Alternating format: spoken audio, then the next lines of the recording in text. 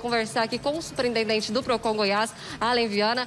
Além, bom dia. Conta pra gente, é isso mesmo, né? Mais gente comprando, o número de reclamação acaba crescendo. Só que entre essas reclamações tem também aí o perigo de golpes. É isso mesmo que o Procon está avaliando? Bom dia mais uma vez. Bom dia, Patrícia. Sem dúvida é uma preocupação nossa, porque essa nova dinâmica comercial que traz agora uma gama de consumidores para essas compras online também traz consigo algumas preocupações que são golpes e também má prestação de serviço.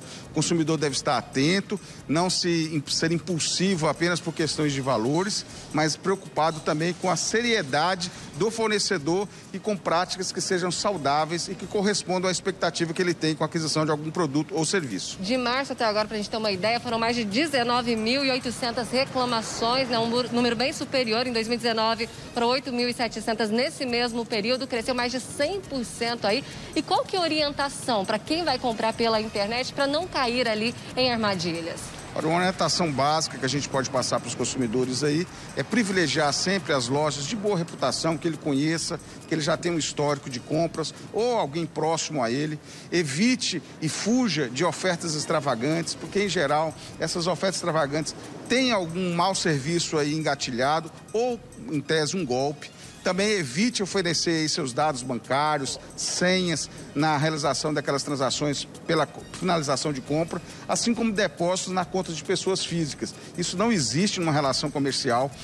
Privilegie também, quando possível, alguma pesquisa prévia desse histórico dessa empresa com CNPJ, dados de endereço, com aqueles que estão registrados também na Receita Federal e também, caso haja dúvida, consulte aí o site do Procon Goiás, o site do consumidor.gov para ver os históricos de reclamação dessas empresas. Quais são as principais reclamações? É prazo de entrega, é produto quebrado? O que, que o pessoal reclama mais? Então, o vício no produto é, alteração unilateral do contrato, que é quando o consumidor ele se depara com um contrato que é diferente daquele que foi anunciado na venda, e também essas, essas demoras na entrega que geram uma frustração e corresponde, e corresponde aí também a uma perspectiva de cancelamento da compra.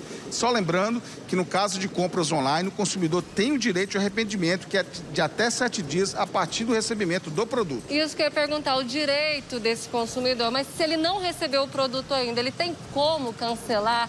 por conta do prazo que passou, ultrapassou ali o limite, ele pode fazer isso? Sem dúvida. Se ele pode cancelar depois de recebido o produto, também ele pode cancelar antes mesmo de receber, porque isso está atrelado aí a alguma quebra de expectativa que ele teve com essa transação. É importante salvar ali, printar na tela, por exemplo, as condições, porque existem ali prazos, né, é, detalhes sobre o produto. Qual, qual prova eu posso colher para me resguardar? Você acabou de dar uma dica extraordinária, que é exatamente essa. Faça print da tela, faça print dos e-mails que você trocou com essa, com essa empresa fornecedora, porque elas serão fundamentais, seja para você agregar essas informações no contrato, porque aquilo que foi combinado com o vendedor por e-mail, por WhatsApp, integra-se ao contrato, como também você pode materializar aí uma reclamação ou uma ação judicial de reparação de danos. Só lembrando para a gente encerrar, o número de reclamação do PROCON? O telefone do PROCON é 151 ou 3201 7124. Tá certo. Muito obrigada pelas informações. Eu volto com você no estúdio, Manu.